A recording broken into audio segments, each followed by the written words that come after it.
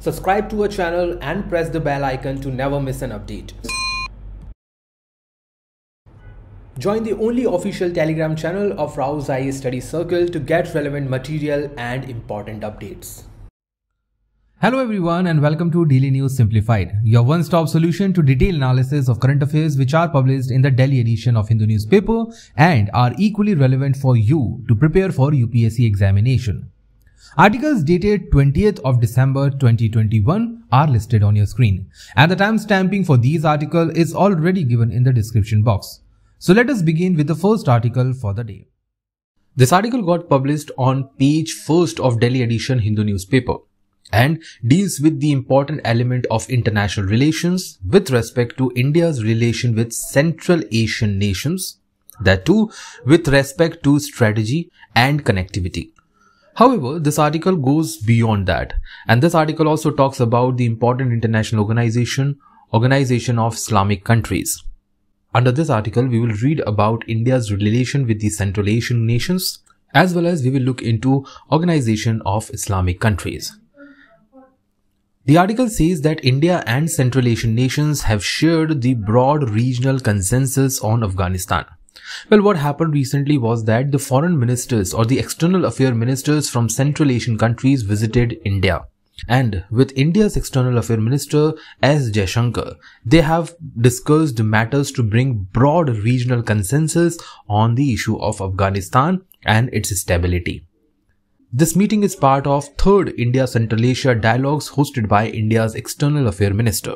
And the aim was to provide immediate humanitarian aid to the people of Afghanistan. Apart from this, the visiting members and India has retreated and called for regional consensus on the issues which are related to Afghanistan. These issues and these steps should focus on bringing a truly and representative and inclusive government in Afghanistan which simply means that these member nations are not at all favoring the current status of Afghanistan under Taliban. They also retreated their steps and uh, promotion towards combating the terrorism and combating the drug trafficking.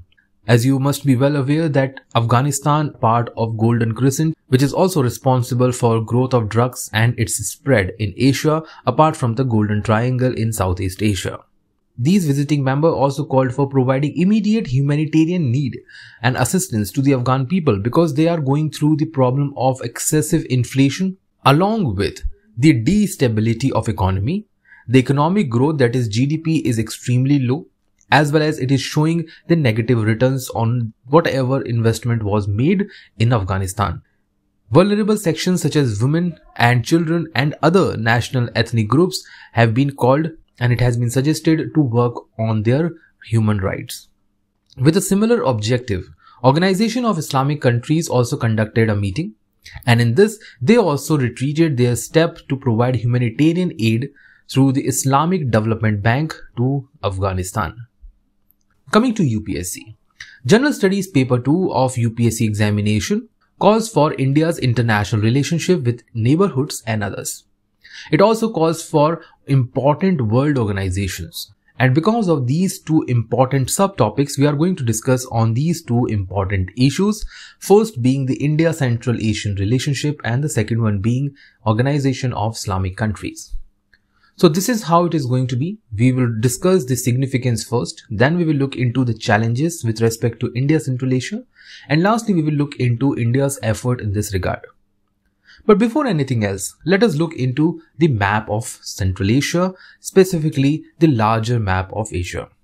As you can see, these are the important nations of Central Asia, which include Turkmenistan, Uzbekistan, Kazakhstan, Tajikistan, Kyrgyzstan, and some other regional parts of other countries including Iran, northern part, Afghanistan, northern part, China, western part.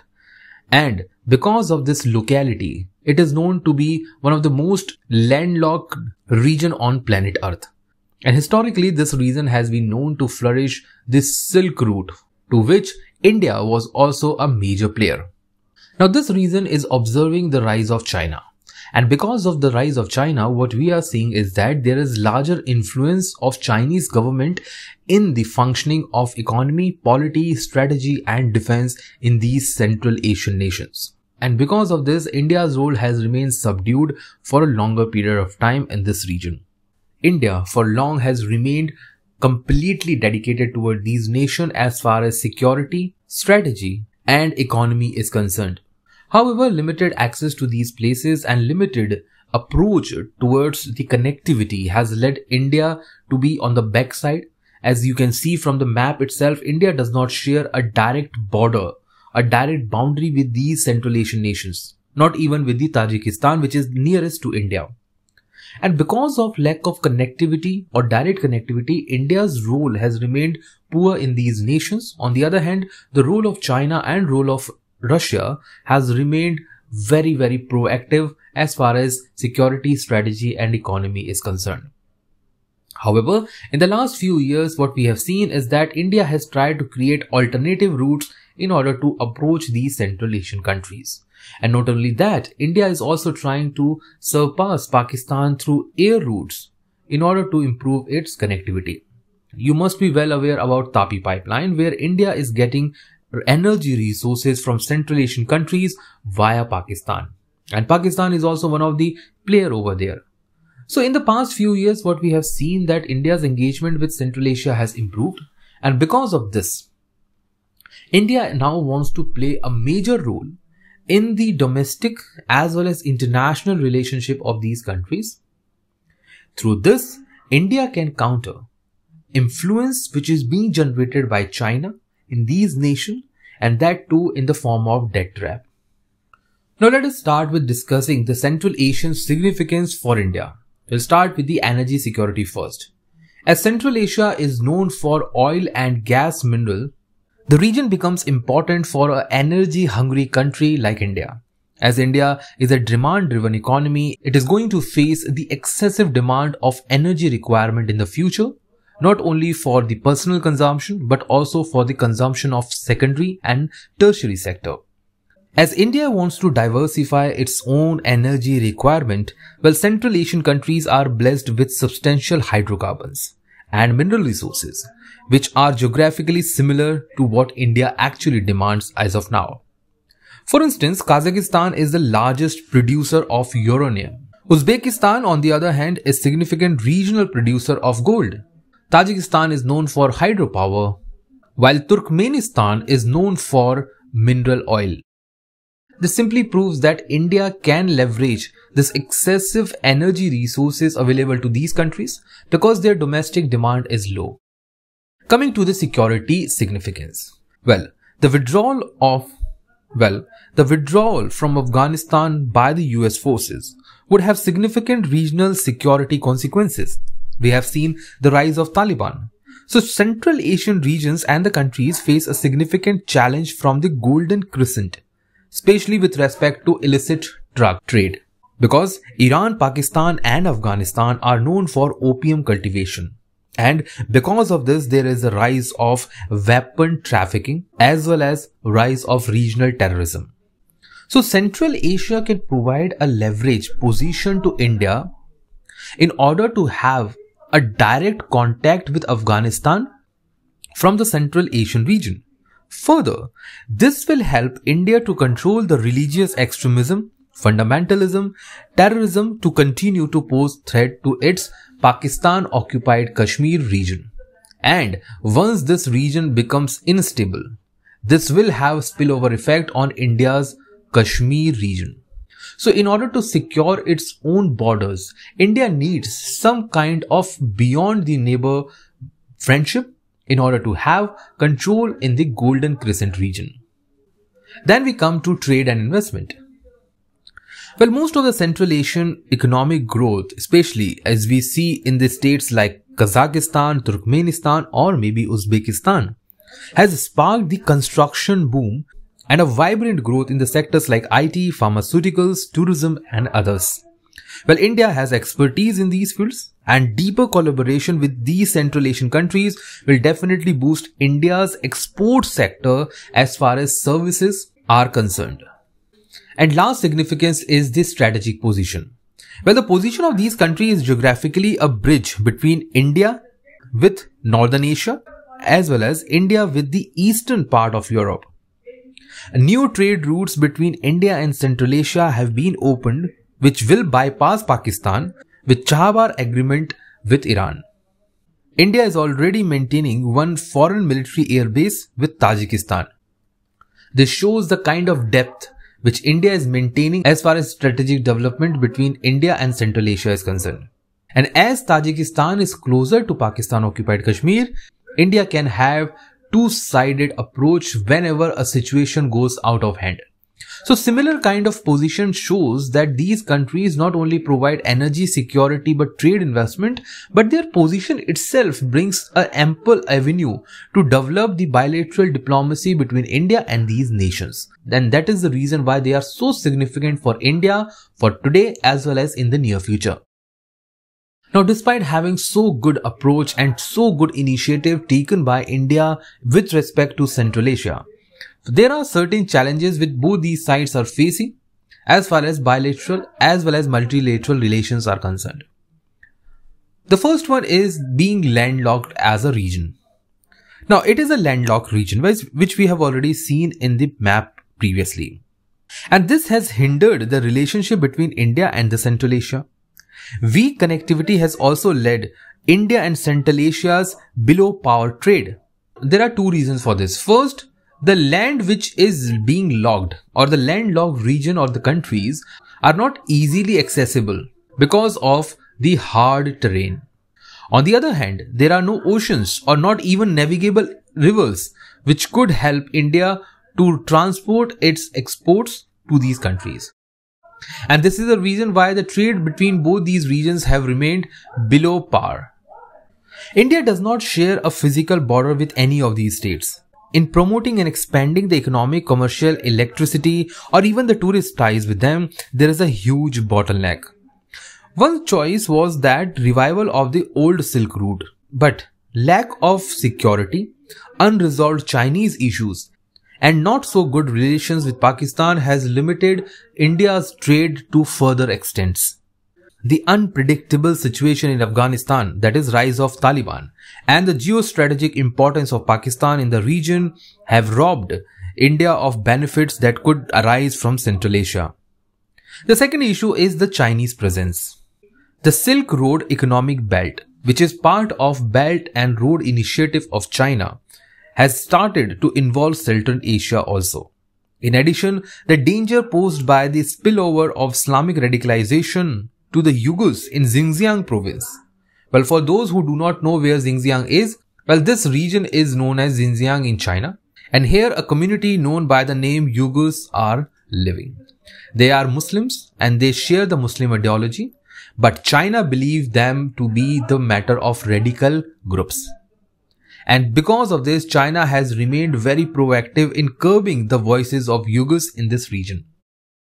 And because of this Chinese concern, what we have seen is that China has raised its concern as well as the security in this region. And because of this, India's own interest as far as strategy is concerned has remained affected. This region has also seen the rise of radicalism and extremism. The case of Uyghurs in Xinjiang province of China. We have seen the rise of Taliban in Afghanistan. And we all know about the Pakistan current status of providing state-sponsored terrorism. And Central Asia, which is being neighbor to these three regions, is prone to all these kind of radicalization and extremism. So India's presence will definitely be impacted by the presence of radicalism and extremism. Then comes the other regional problems, such as the youth bulge combined with restricted economic opportunities, rise of corruption, drug trafficking, autocratic states, secession management without strong government or party institutions. If you go through the basic international relation, you will find that those nations which had weak polity, they were come to weak economy, and ultimately there was a failure of state. And this is the reason why most of the country try to stabilize their polity. Instances such as military coup, instances such as rise of extremism or radicalization or rise of terrorist forces as we have seen in the case of Afghanistan is largely neglected to get an upper hand. And because of these challenges, the relationship which could have been there between India and Central Asia could not be materialized even today. But given the past, what India has done is this. India has provided a linking strategy with Central Asia because connectivity is the basics criteria in order to have better insights into Central Asia. This linking strategy was introduced in 2012. Now what we have done? We have targeted strong political relationship foremost, which include high level visit. So Prime Minister has been visiting, many other ministers including Defense Minister, Foreign Ministers have been visiting to these countries. We have also been conducting military exercises, intelligent exercises and coordination on the issues like counter-terrorism near Afghanistan consultation. India has also been looking for oil and natural gas collaboration with these countries. Tapi pipeline is one such initiative. As you can see, we have already listed that out. Because India is the nation which is improving on its financial performance. So India can utilize or India can leverage this financial expertise in order to have better relationship with these countries. India has already increased the commitments made by Indian companies in building the power sectors. India also is trying its soft diplomacy for people to people as well as cultural exchanges. India has joined Shanghai Cooperation Organization where Central Asian nations are permanent members we have been conducting work on improving the connectivity to these countries through international north-south transport corridor. India is also building the connectivity from Chabahar to Central Asian nations via Afghanistan. We have already signed the Ashgabat agreement and this was even asked by UPSC also. We have already discussed the implementation of Tapi pipeline and lastly, India is also looking through the partnership in Eurasian Economic Union in order to have economic and trade expansion to these countries. So whenever a question arises in the mains examination regarding any grouping or India's approach in that grouping, well, as far as mains examination is concerned, you should relax and you should you should get this done that India's relationship will be asked. UPSC is not concerned with United States relationship with Brazil or United Kingdom's relationship with let's say Egypt. So if India is not involved, do not read those current affairs in more detail. So read those organizations, those international events where India is a stakeholder is getting affected or India as a stakeholder is playing major role. This will reduce your burden. This will reduce your study material and will ultimately reduce your burden and will help you to revise more in limited time. So after discussing the basic challenges, basic benefits, significance and what India has done, you will be in a position to understand the basic criteria and basic approach towards Central Asia. Now before moving ahead, let us look into what is Organization of Islamic Cooperation? Because as we have discussed in the initial part of the article, that this organization has also retreated to provide the financial aid to Afghanistan in order to bring the economy back on track. Organization of Islamic Cooperation or OIC is the second largest intergovernmental organization after United Nations and it has a membership of 57 states that now somebody may argue that non-aligned movement is larger than Organization of Islamic Cooperation. Now the point is, NAM is not an organization. It is an ideology. An ideology around which annual meetings are conducted, an ideology around which people or different nation meets, but they do not have any particular organization per se. United Nations is an organization. OIC is an organization. Similarly, we have UNESCO. UNESCO is an organization. World Health Organization is there. So all these are organized institution. NAM is not. So keep this in mind. The objective of this organization is to bring the collective voice of the Muslim world to safeguard and protect the interest of the Muslim world in spirit of promoting the international peace and harmony. However, sometimes this organization has been criticized in, in India for indulging itself into the matter of Kashmir. This organization does not include India, despite the fact that their objective is talking about Muslim world. And India has one of the highest population of Muslims in the world. And despite that, as India is a secular country and has a majority of Hindu population, India is not seen as a significant nation by this organization. This was established in 1969 and has a headquarters at Jeddah, Saudi Arabia. India, despite not being a member of this organization, was once invited as a guest of honor in 46th session of this council. And this was conducted in 2019, which was also the 50th anniversary of this organization. So keep this in mind. India is not a member of OIC. This could well be asked in the prelim examination, so be thorough in this. With this discussion please now we move to the next article for the day. This article got published on page 5 of Delhi edition Hindu newspaper and talks about the important element of environment and ecology. This article talks about the Indian desert cat and the relevance says that this cat was seen in Panna Tiger Reserve which is situated in Madhya Pradesh. So from prelims examination, it is important for us to go through the important species which were mentioned in the news articles. Indian desert cat, as you can see from this image itself, it is larger than the normal cat that we see in the urban areas. It is also known by the name of Asiatic wild cat and it is a subspecies of African wild cat. The habitation of this animal is the desert portion and more specifically being the semi-arid region. As you know that Panna Tiger Reserve is situated in Bundelkhand area of Madhya Pradesh and this area is known for semi-arid conditions. And that is the reason why this cat was spotted here. Under the IUCN red list, this cat is for the least concerned category.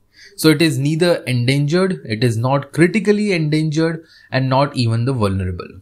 From that criteria, it seems that it is not relevant for us to study this species.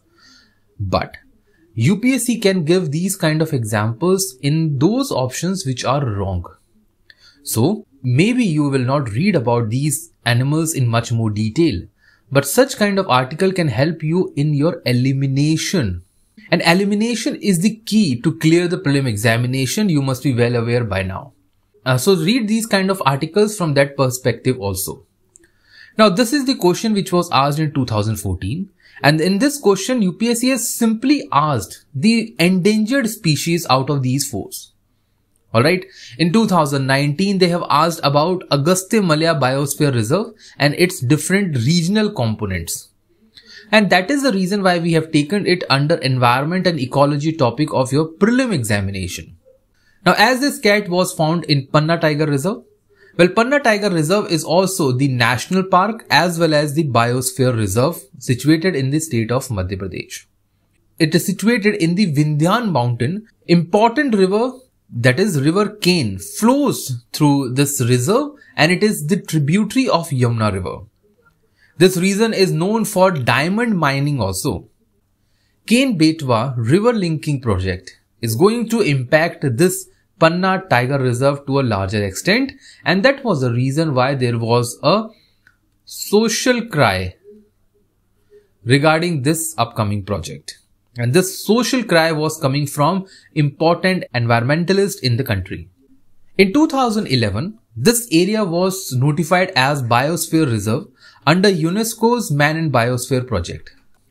And in 2020, that is last year, this was included under the World Network of Biosphere Reserve by UNESCO. So as you can see, the Panna Tiger Reserve is situated in the northeastern part of the state of Madhya Pradesh and it is part of Vindhya Hill or Vindhyan Range which is extended from southwestern part to northeastern part in the state of Madhya Pradesh. And this hilly areas along with Satpura is responsible for creating a rift valley in the state of Madhya Pradesh. With this discussion in place, now let us move to the next article for the day.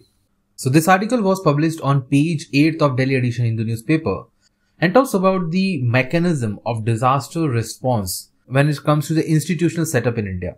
Well, it has been found in most of the cases that the coordination between National Disaster Response Team or Response Force and the same at the state level has not been coordinated to a greater extent. So according to the Home Minister, we require these organizations to work in close affinity in order to solve the problem of rescue efforts during the major calamities in India. Now, from the prelims perspective, it is important for us to understand the basic structure of these organizations and the background of their formation. Now, let us understand this topic from the prelims pointer perspective. Now, NDMA, that is National Disaster Management Authority, which is being constituted under the National Disaster Management Act 2005, is chaired by the Prime Minister himself. The same body at the state level is chaired by the Chief Minister. This body or this authority has a National Executive Committee which assists the NDMA. And the chairperson of this committee is the secretary to the disaster management who oversee all the assisting function to the NDMA.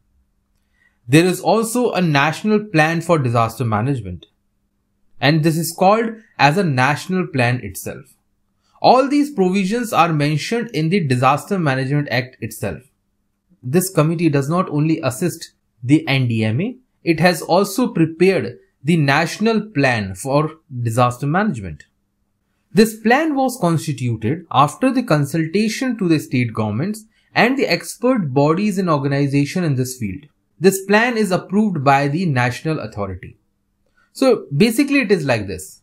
We have National Disaster Management Authority which is functioning under National Disaster Management Act 2005. Under this authority, we have National Executive Committee. This committee has created a national plan and it is also formulated the national policy for this regard. And this national plan and policy is being implemented by the National Disaster Management Authority. On the state level, as we have discussed, we have the similar mechanism, but here the chairpersons are different. We have State Disaster Management Authority under the same Disaster Management Act and it is chaired by the Chief Minister. It also has State Executive Committee for Policy Making and for Planning. It is chaired by the Chief Secretary to the state government. They have constituted the state plan and they have also constituted the district plan. Actually, the state plan along with all the district plan in decentralized manner formulate and help creating the national plan for disaster management.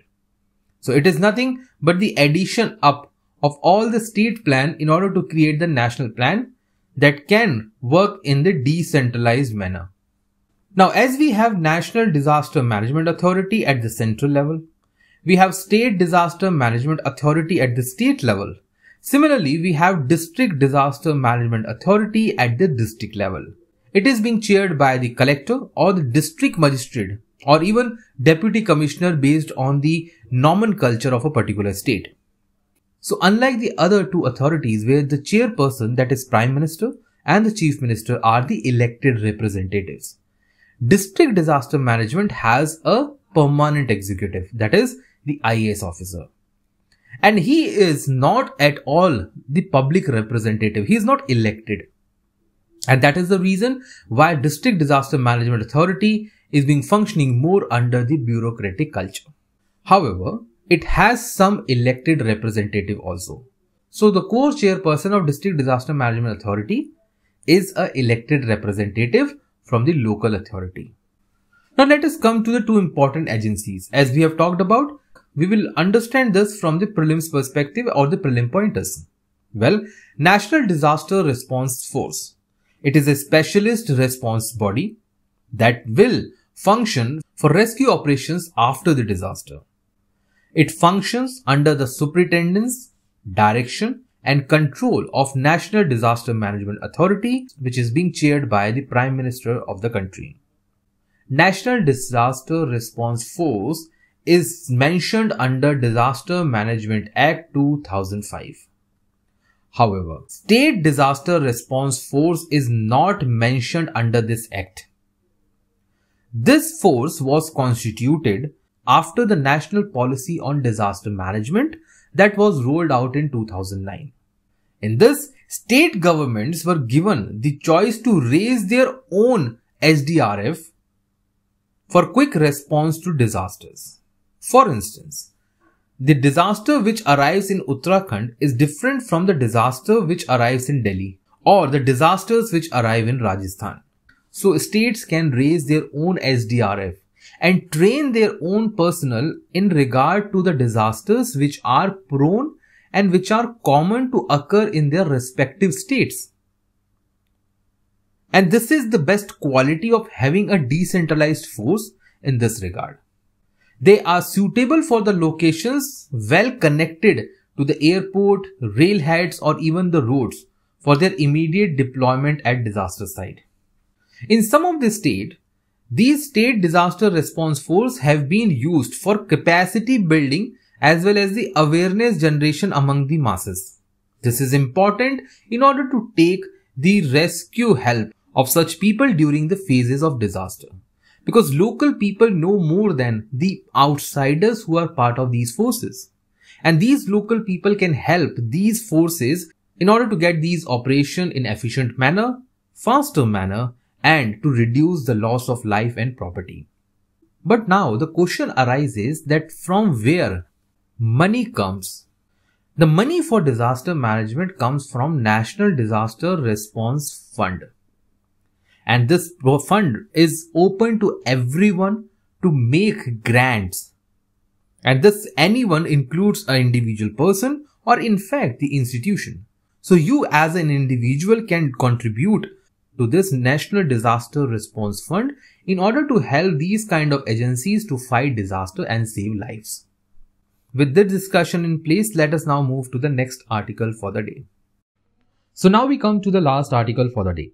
This article got published on page 7 of Delhi edition Hindu newspaper and talks about India's leadership as far as technology in industrial sector is concerned.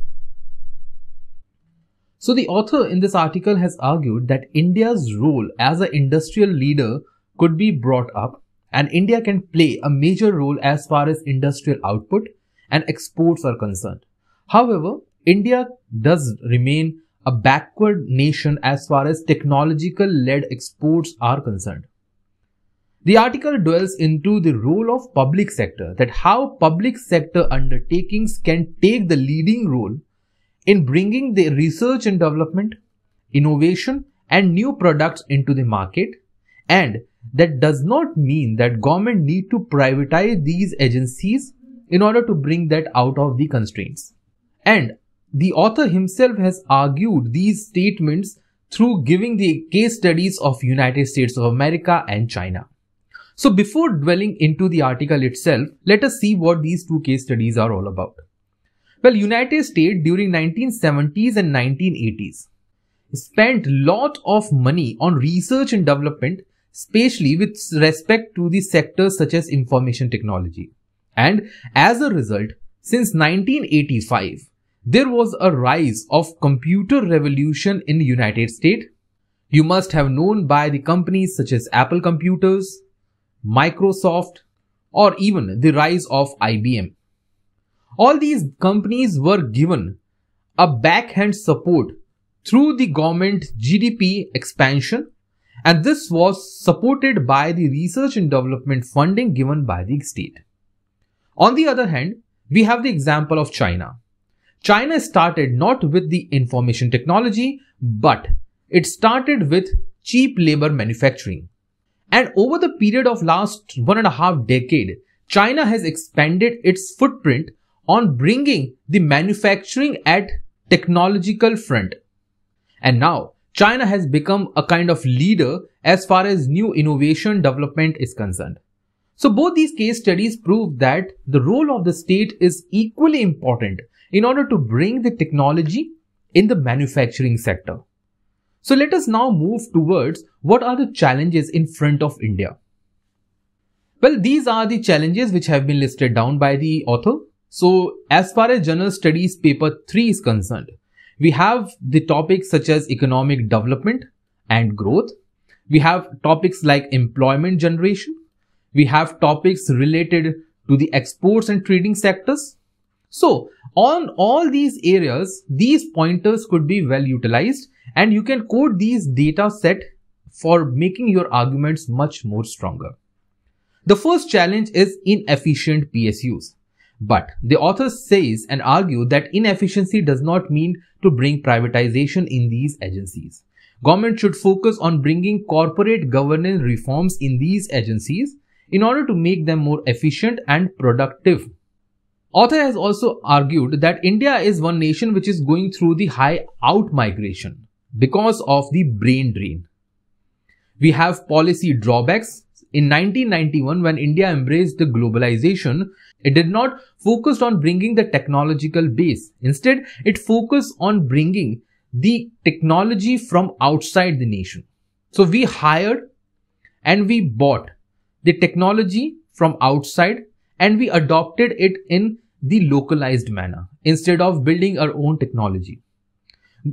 Author has also argued, which was also supported by the economic survey, that India's research and development spending is far lower than most of the least developing countries in the world, far below than our most important competitor, China. Indian economy as of now is not utilizing the market driven forces to grab the opportunities.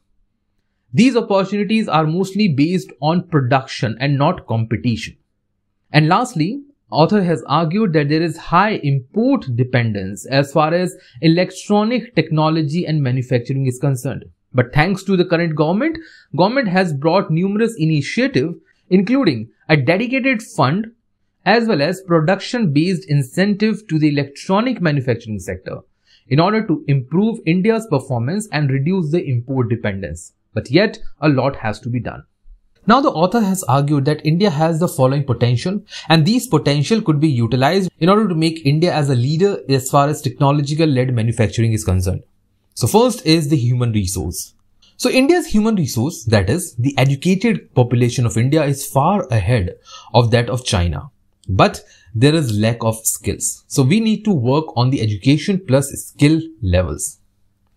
Then we have the graduate from STEM including science, technology, engineering and mathematics, which is 32.2% for India in 2009, which is among the highest as far as UNESCO data is concerned. This is the important pointer. So I want you to make a note out of it and try to remember this data. You can quote this in numerous paper, including essay.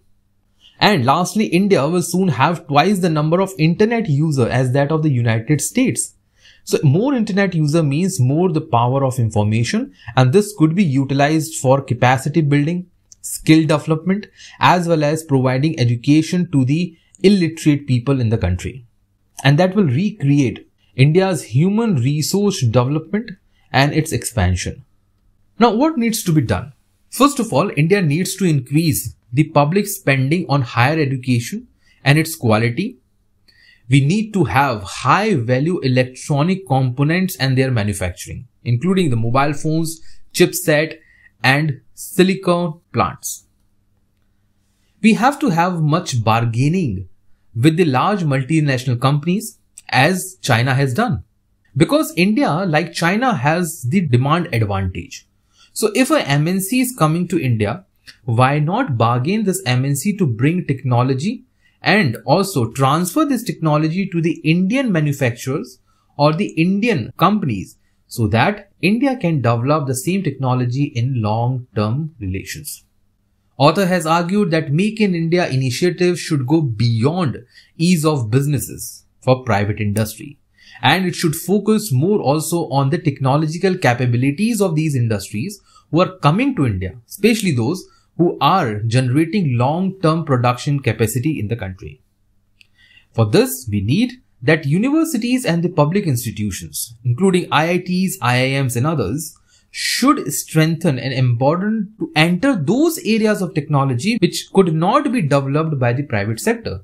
For instance, let's take the cloud computing or high-end robotics or in fact the artificial intelligence. Well, these are the areas where in top institutions of the country like IITs can function, can create a new regime and produce graduates every year.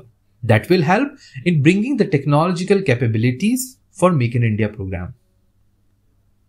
Then lastly, we talk about long-term innovations. And this should come from the public sector undertakings. So instead of bringing privatization to public sector undertakings, government can provide and enable them for bringing long-term innovation creating opportunities for private businesses and help the economy as a whole in raising the generation of manufacturing over and above the 17% to the GDP. With this discussion in place, now I will leave you with question of the day.